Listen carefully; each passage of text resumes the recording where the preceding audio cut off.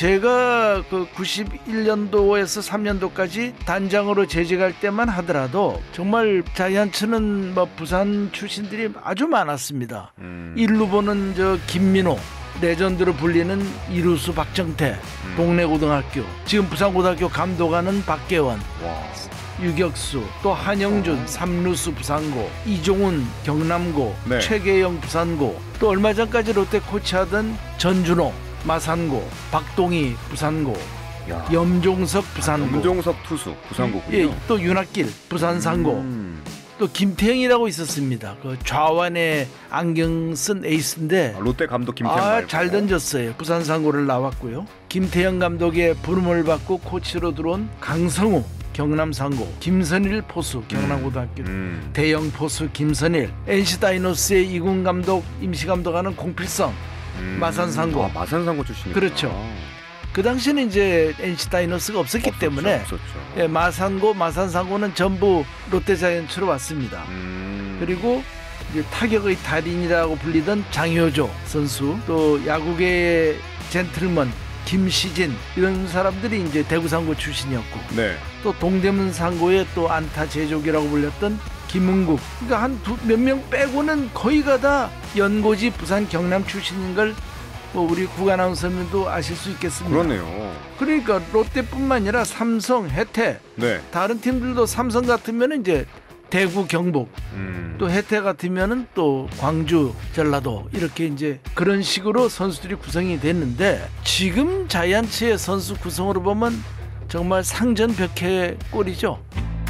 자, 야구 직설 롯데 자이언츠 송정규 전 우승 단장과 함께합니다. 단장님 어서 오세요. 안녕하십니까? 네. 자, 단장님 요즘 어떠신지 플레이오프 챙겨 보고 계십니까?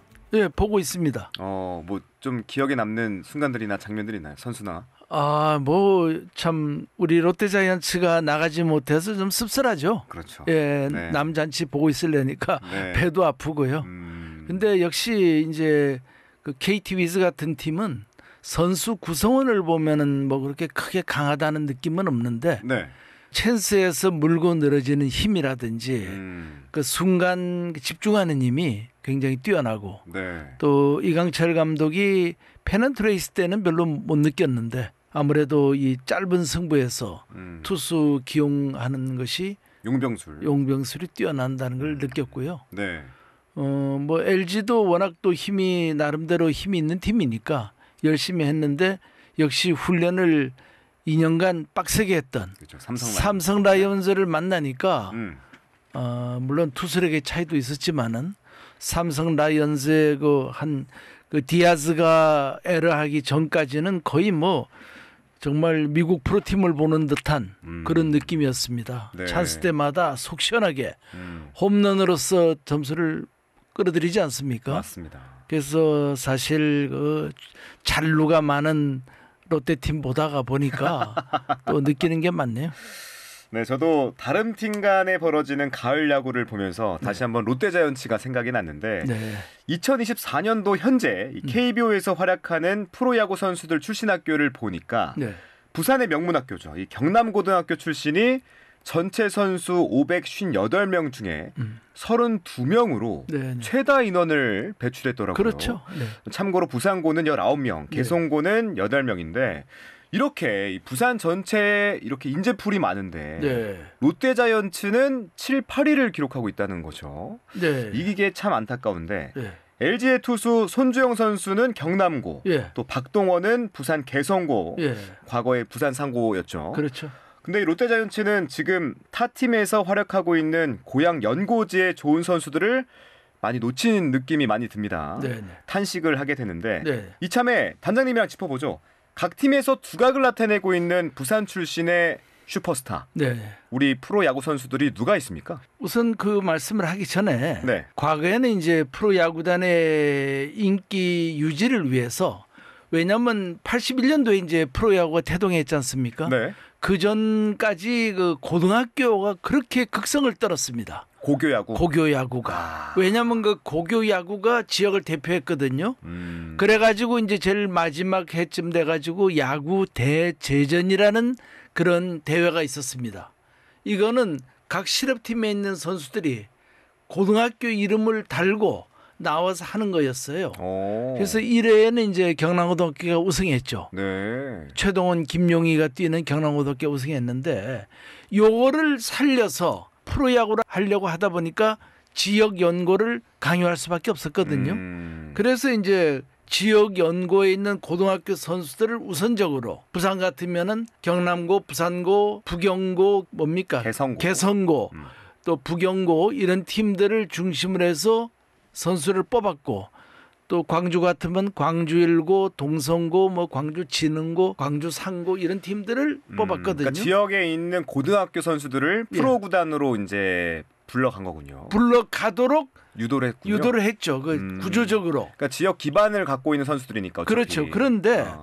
그렇게 하다 보니까 이제 지역이 예를 들어 충청도 같은 데는 없지 않습니까 별로. 음. 그러니까 천안 북일고 하고 대전고 있고 뭐 공주고 있고 한 서너 개 있는데 네. 숫자도 작고 선수들의 퀄리티도 좀 떨어졌고 상대적으로 당시에. 예 이러니까 자꾸 이제 부익부 빈익분이 생기는 겁니다. 아. 그래서 그렇게 하지 말고 네.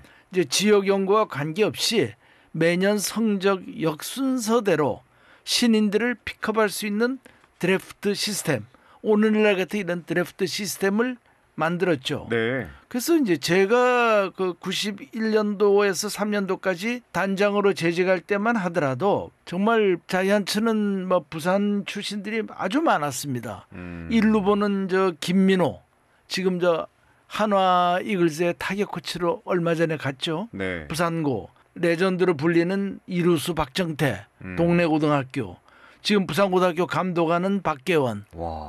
유격수 또 한영준 어. 삼루수 부산고 이종훈 경남고 네. 최계영 부산고 또 얼마 전까지 롯데 코치하던 전준호 마산고 박동희 부산고 야. 염종석 부산고 아, 염종석 투수. 예. 그렇죠? 부산고군요. 예, 또 윤학길 부산상고 음. 또 김태형이라고 있었습니다. 그 좌완에 안경 쓴 에이스인데 아, 롯데 감독 김태형 아. 잘 던졌어요. 그 네. 롯데 감독 김태형이 아니고 음. 그, 그 친구도 이제 부산 상고를 나왔고요. 또 지금 얼마 전에 이제 그 김태형 감독의 부름을 받고 코치로 들어온 강성우 경남 상고 포수인가? 출신 포수죠. 그렇죠. 예, 또 김선일 포수 경남고등학교 음. 대형 포수 김선일 네. NC 다이노스의 이군 감독 임시 감독하는 공필성 음. 마산 상고. 아, 마산 상고 출신이구나. 그렇죠.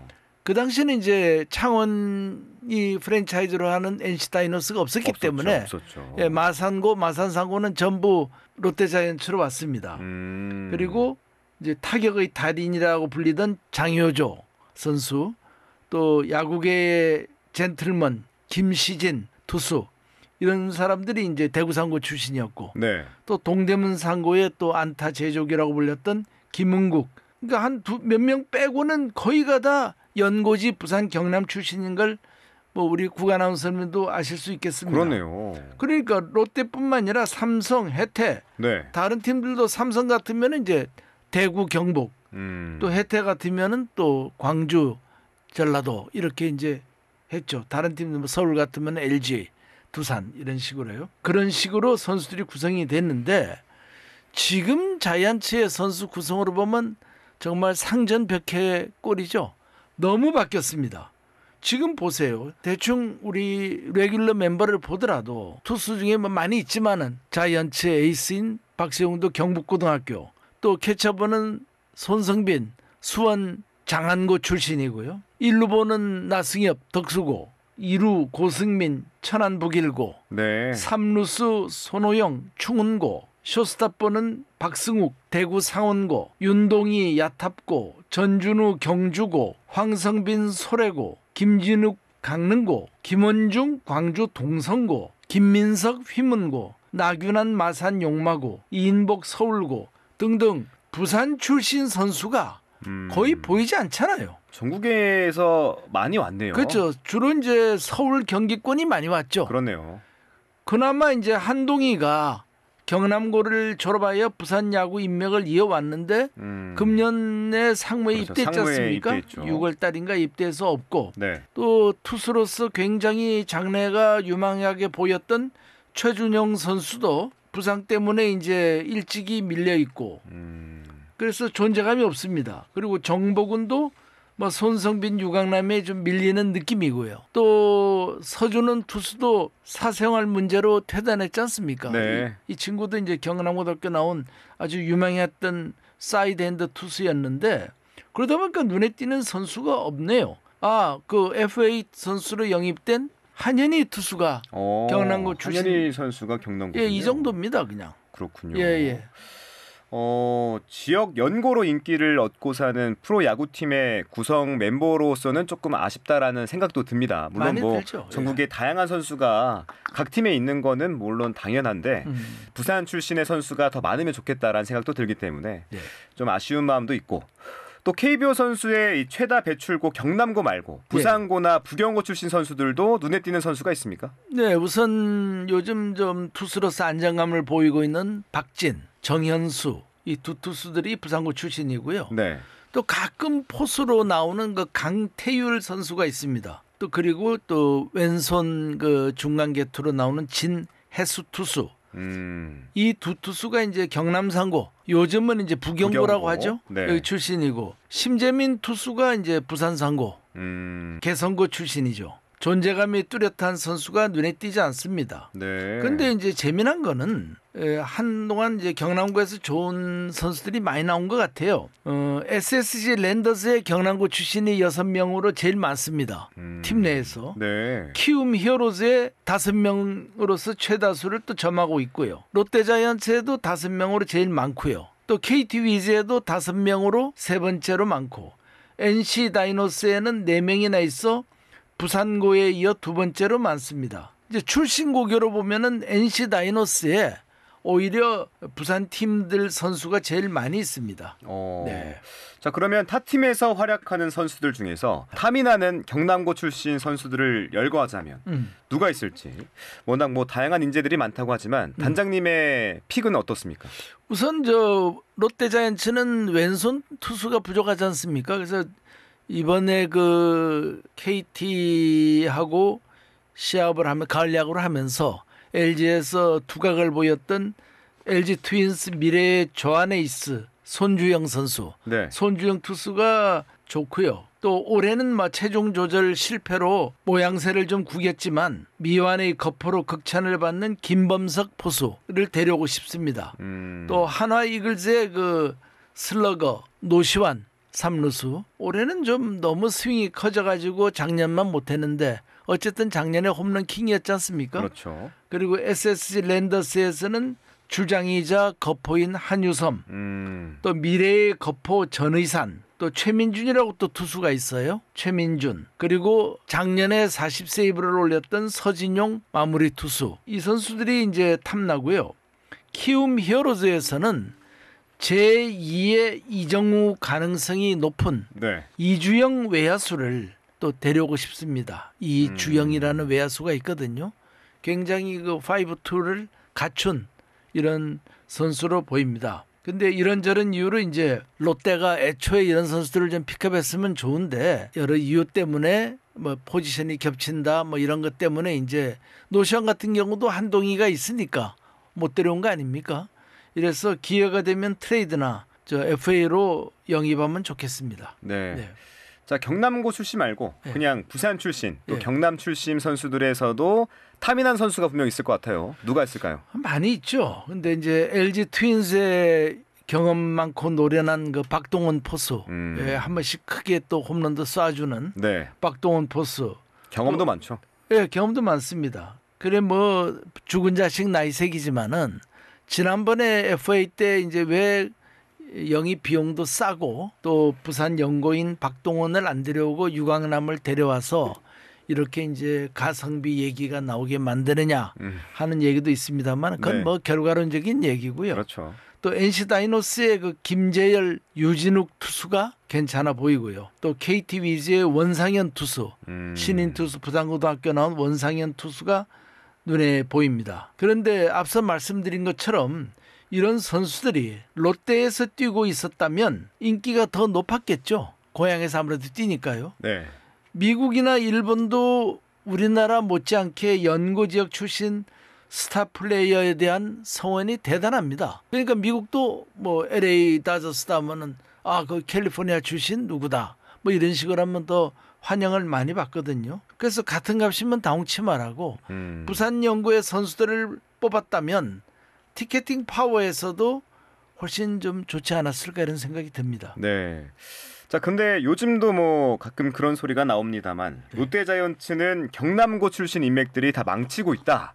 이런 소문이 뭐 돌긴 하더라고요. 네네. 좀 약간 당황스럽긴 한데 음. 단장님도 이런 소문을 들어보셨는지 또 이런 소문이 근거가 있는지 오히려 지역 연고 출신의 대표격인 이 경남고 출신 선수들이 팀을 망친다 이런 소문인 거잖아요. 맞습니까? 전혀 그렇지가 않죠. 경남고 출신이 있었지만 네. 제가 느껴서 알지만은 별로 그렇게 favor를 따로 준 게 없습니다. 음. 그리고 경남고 출신이라고 해가지고 더 뭐 연봉을 더 준 것도 없고 오히려 후배라고 더 가혹하게 대하면 됐지 그런 건 저, 전혀 없고요. 그리고 지금 이제 롯데 구단 front office를 네. 보나 또 코칭스태프로 보나 선수단 구성을 봐도 경남고 출신들이 많지 않잖아요. 코칭 스텝도 김용희 이군 감독밖에 없습니다. 음. 그리고 지금 보면 이제 뭐 완전히 부산이 아닌 거의 뭐 서울 롯데 자이언츠 같은 느낌이 들거든요. 네. 대다수가 이제 뭐 서울 경기세가 압도적이죠. 선수들 구성이 그렇죠. 네 감독도 그렇고 그렇죠. 네 예, 코치들도 코치들도 그렇고요. 음. 물론 원론적으로 저도 능력에 따른 그 혼혈주의가 항맥으로 연결됐거나 지역으로 연결된 순혈주의보다 네 훨씬 바람직하다고 옛날부터 주장을 했습니다. 음. 이게 망친다. 그렇게 얘기를 했는데 이제 유명한 그 일본 요미우리 자이언츠라는 팀 있지 않습니까? 네. 그 팀이 옛날부터 그 순혈주의를 많이 외쳤습니다. 아 그래요. 그러니까 감독도 요미우리 출신 아니면 안 된다. 또 코치도 뭐 대부분 음. 각주임을 요미우리 출신들을 쓴다 이런 주의였는데 네. 요즘 별로 성적이 안 좋잖아요. 음. 어, 뭐 올해는 우승했죠 아마 센트럴 리그에서. 그래서 다만 제가 이제 지적하고 싶은 거는 부산을 이 프랜차이즈라는 롯데 자이언츠에 너무 부산 출신의 스타 플레이어, 간판 스타가 없어요. 대형 스타가. 그래서 아쉽고 허전하다는 거를 이제 강조했을 뿐입니다. 그러니까 이대호 선수 이후로 없다는 건가요? 그렇죠. 뭐 경남고 이- 출신이잖아요. 예, 이대호 이후로는 이제 없다고 봐야죠. 지금은. 음. 한동희가 이을 뻔 하다가 실패했고요. 음. 그리고 과거에 이제 1980년대 야구할 때는 그때는 경남고 1세기였죠. 아 그래요. 예, 신준호 구단주 대행도 저희 선배고였고요. 또 조동래 야구단 사장도 경남고등학교 출신. 박종환 전무이사 단장도 경남고 출신. 박영길 감독도 경남고 출신. 뭐 그리고 선수들 김용희 4번 타자 최동원 투수 모두 경남고 출신이라서 타국요 출신들이 불이익을 받는다고 피해 의식을 가질 수도 있었겠죠. 네. 막 오비 일학격으로 또 그런 오해도 안 했겠습니까? 그러니까 1980년대에는 이 말이 어느 정도 맞지만 지금 시대 또 단장님이 단장할 때부터 시작하면 음. 사실 이런 소문은 사실이 아니다. 그렇죠. 이렇게 그리고. 아니 꼭 그것보다도 그 80년대에도 네. 경남고등학교라고 해서 뭐 그렇게 크게 페이버 받은 거 없어요. 실질적으로 음. 최동원 투수를 결과적으로 삼성으로 쫓아낸 것도 경남고등학교 세력이라고 볼 수 있거든요. 아 그래요. 예, 그때 그 단장하는 분이 네. 이제 연봉 관계니 또 어, 선수협? 그, 예. 선수협회 이런 것 때문에 이제 다루기가 힘드니까 삼성 라이온즈하고 이제 장효조, 김시진하고 여기 최동원, 김용철하고 이렇게 트레이드. 트레이드를 해버렸거든요. 네. 그래서 별반 그렇게 뭘 특혜를 받았다 이렇게 얘기하기는 어렵고요. 음. 단지 이제 그 당시에는 롯데그룹 전체에 경남고 출신 사장 임원들이 굉장히 많았습니다. 요직에 그러다 보니까 이제 모르는 사람들은 아 이건 뭐 경남고 판이구나 하는 이런 느낌을 받을 수가 있었죠. 그러니까 이 세상이 이제 헛소문이 워낙 많다 보니까 제가 91년도 그 필승 전략을 쓰고 나서 네.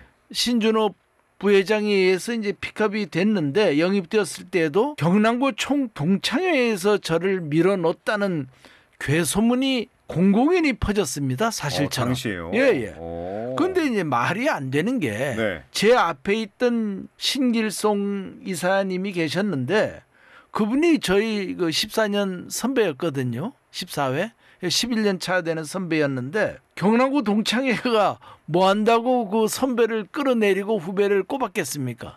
그건 말도 아니죠. 그러나 이제 앞뒤 가리지 않고 이를 확대 재생산하여 진실처럼 만들어 버립니다. 아예. 음. 뿐만 아니라 당시에 더 황당했던 거는 전두환 전 대통령이 저를 넣었다. 압력설까지 나왔어요. 웬일인지. 그리고 고교 선배인 김영삼 전 대통령을 의식하여 영입했다는 그 김영삼 대통령은 92년도에 대통령이 됐고 저는 91년도에 들어갔는데 그게 말이 안 되는데 그래도 이제 그때 민주당 대표를 하고 제일 유력한 정치인이다 보니까 그런 헛소문들도 난무했었죠. 음. 지금 생각하면 매우 가소로운 일이지만 당시에는 뭐 신문 지상에까지 가십성 루머로 보도될 정도였습니다. 네, 알겠습니다. 네.